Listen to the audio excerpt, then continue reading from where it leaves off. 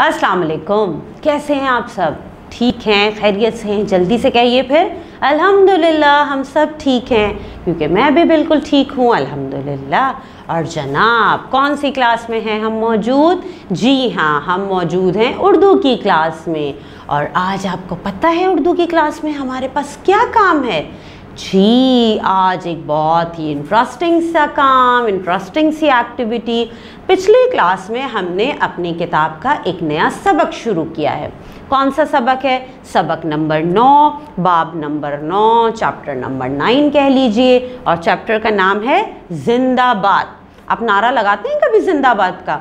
हम्म हम ज़ोर से नारा लगाते हैं ना, पाकिस्तान जिंदाबाद। तो यही हमारे चैप्टर का नाम है जिंदाबाद। तो पिछली क्लास में हमने ये चैप्टर कर लिया था। शुरू। हमने इस सबक से कुछ नए अल्फाज सीखे थे और उनके जुमले बनाए थे मतलब भी समझे थे। आपने अपनी कॉपीज़ में जुमले बना लिए थे? वेरी गुड तो आज पता है मैंने कहा आपसे कि बहुत ही इंटरेस्टिंग सा काम है। वो क्या है? आज मैं आपको ये पूरा सबक पढ़ के सुनाऊँगी कि जो जिंदाबाद है, इसमें आखिर बताया क्या जा रहा है? कौन नारा लगा रहा है जिंदाबाद का? तो फिर क्या ख्याल है? पता करना है कि नारा किसने लगाया था? ज़ोर से जिंदाबाद। तो चलें, फिर मैं आज आपको पढ़ के बताती हूँ, इस सबक को पूरा सुनाती हूँ। आप क्या करेंगे? बिल्कुल स्ट्रेट बैठ जाएँगे और पूरी तवज्जो से ये सबक सुनेंगे। ठीक है? तो चलें, देखते हैं कि इसमें क्या मौजूद है, क्या बताया जा रहा है। अच्छा जी, यहाँ लिखा है, नाम हमने बताया ना? क्या नाम है? जिंदाबाद। आगे लिखा है, मेरी दोस्त डायरी। अरे, ये तो एक डायरी है, यानी कोई डायरी लिख रहा है अपने एक दिन की डायरी। जी, क्या है डायरी में मौजूद? रक्शे वाले ने रस का आखिरी घूंट भरा, ग्लास बेंच पर छोड़ा और मुझे दो उंगलियों में फंसाकर मशीन पर खड़े आदमी की तरफ़ बढ़ा दिया। रस वाले ने मुझे लकड़ी की संदूकची में फेंका और गन्ना मशीन में डालने लगा। मैंने आँखें फाड़ कर संदूकची में इधर उधर देखना शुरू ही किया था कि धड़म से ढकना ऊपर गिरा और मैं अंधेरे में। अंदर का माहौल कदरे तारीख और ठंडा था। मैं आँखें फाड़कर अपने नए साथियों को देखने लगा। संदूकची में पाँच के सिक्के और दस के नोट बहुत थे।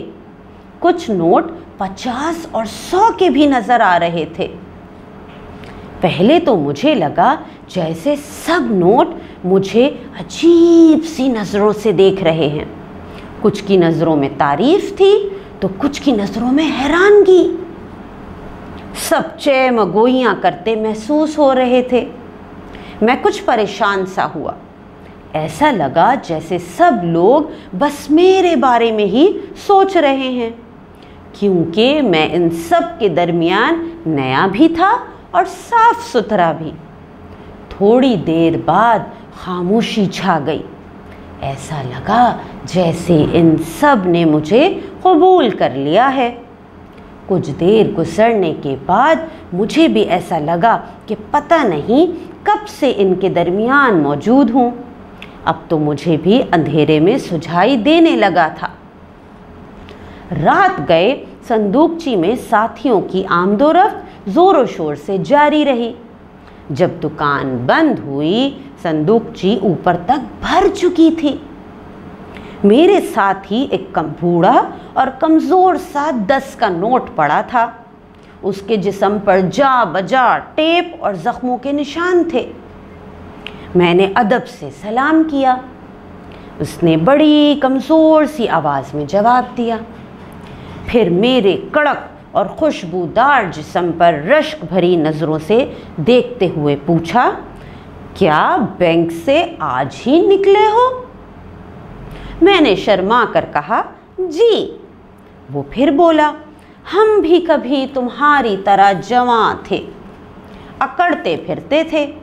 अब तो बस चल चलाओ का वक्त है। मैंने बूढ़े नोट से पूछा चचा आपके जिसम पर ये ज़ख्मों के निशानात कैसे? ये सुनकर सब ज़ोर ज़ोर से हंसने लगे। मैं शर्मिंदा सा हो गया। बूढ़े नोट ने भी अपनी हँसी रोकते हुए कहा अभी नया आया है। किसी पान वाले के हाथ लगा तो पता चल जाएगा। मेरी समझ में कुछ नहीं आया। मैंने डरते डरते पूछा, पान वाले की बात क्यों की? वो बेजार होकर बोला, क्या देख नहीं रहे मेरी हालत? मुझ पर जिस तरह के धब्बे पड़े हैं, कुछ दिन बाद तुम भी खुद को पहचान नहीं सकोगे। मैं भी कभी तुम्हारी तरह चमकदार था और बहुत अकड़ थी मुझमें। फिर बदकस्मती से एक पान वाले के हत्ते चढ़ गया। शुरू में मुझे उम्मीद थी कि कोई मुझे ले जाएगा, लेकिन रफ्ता रफ्ता मुझ पर जा बजा पान के धब्बे पड़ते गए, क्योंकि पान वाला पान बनाता और हर थोड़ी देर बाद संदूक ची खोलकर इसमें नोट डालता जाता। कभी तो उसके हाथ चूने और कत्थे में इतने डूबे होते कि हमें भी रंग देते। इसकी बात सुनकर मैं डर सा गया और जल्दी से अपना मुँह दूसरी तरफ़ फेर लिया। मुझे अब संदूकची में 500 का नोट भी नज़र आ ही गया, जो एक कोने में पड़ा हुआ था। सबसे अलग और बेजार नज़र आ रहा था। मैं हिम्मत करके उसकी तरफ़ बढ़ा और पूछा, मुझे पाँच हज़ार रुपये पाँच सौ के नोट से मिलने का बहुत शौक़ था। क्या आपकी कभी उनसे मुलाकात हुई है? यानी किससे पूछा? पाँच सौ के नोट से उसने ये पूछा। हम्म पाँच हज़ार से के नोट से मिलने का बहुत शौक़ है भाई। अच्छा क्या जवाब दिया होगा? हम्म उसने हैरानी से देखा। फिर बड़े ही फ़खरिया अंदाज में कहने लगा मैं तो रहा ही उनके दरमियान हूँ। हज़ार और पाँच हज़ार को तो छोड़ो। मेरी दोस्ती तो अमेरिकन डॉलर, बरतानवी पौंड, कोयती दीनार और सऊदी रियाल वगैरह से साथ रही है। ये तो चंद सालों से तुम जैसे टके टके के लोगों के साथ वक्त गुजारना पड़ रहा है। वरना हमारी रिहाइश तो फाइव स्टार होटलों गैर मुल्की रेस्टोरेंट्स और बड़े बड़े शॉपिंग मॉलों में थी। हमारा वास्ता आवारा किस्म के सिक्कों दस, बीस, पचास और सौ वाले नोटों के साथ बिल्कुल नहीं था। मुझे इसके फिरौनी लहजे पर बड़ा ताव आया। कुछ कहने ही वाला था कि मुझसे पहले बूढ़ा नोट बोल पड़ा। साहब, इतना गुरूर अच्छा नहीं है। माना कि आपका उठना बैठना अमीर कबीर लोगों में है। आपकी कदर कीमत भी हमसे ज़्यादा है, मगर एक चीज़ हम सब में मुश्तरक है, और वो चीज़ आप में ना होती तो आप महज कागज़ के एक टुकड़े होते, और आपके ऊपर 500 या 5000 लिखना भी बेकार होता। वो क्या 500 के नोट ने हैरान होकर पूछा। बूढ़े ने मुस्कुरा कर कहा कायद आज़म अब शर्मिंदा होने की बारी 500 के नोट की थी। उसका सर झुक गया। पाँच रुपए के एक चमक चमकदार सिक्के ने खनखनाते हुए नारा लगाया। कायद आज़म संदूकची में मौजूद सबने चिल्लाकर जवाब दिया, जिंदाबाद! जी तो अब आपको समझ में आया कि यहाँ जिंदाबाद हमारे सबक का नाम क्यों है? जी हाँ ये एक नोट ने डायरी लिखी है, ठीक है ना? और उन्होंने बताया है कि एक दिन में उसके साथ क्या क्या हुआ, उसका दिन कैसे गुजरा। और देखें कि वो बूढ़ा नोट कितना कमज़ोर हो चुका था, लेकिन उसमें खुद एतमादी कॉन्फिडेंस कितना ज़्यादा था। और उसने ये बात बिल्कुल ठीक कही कि पाँच हज़ार का नोट हो या पाँच सौ का नोट हो। अगर उस पर कायद अज़म की तस्वीर नहीं है तो उस नोट की कोई कीमत ही नहीं है। तो यानी वो कितना कॉन्फिडेंट था, कितना खुद अतमाद था, जबकि उसकी हालत कितनी ख़राब हो चुकी थी।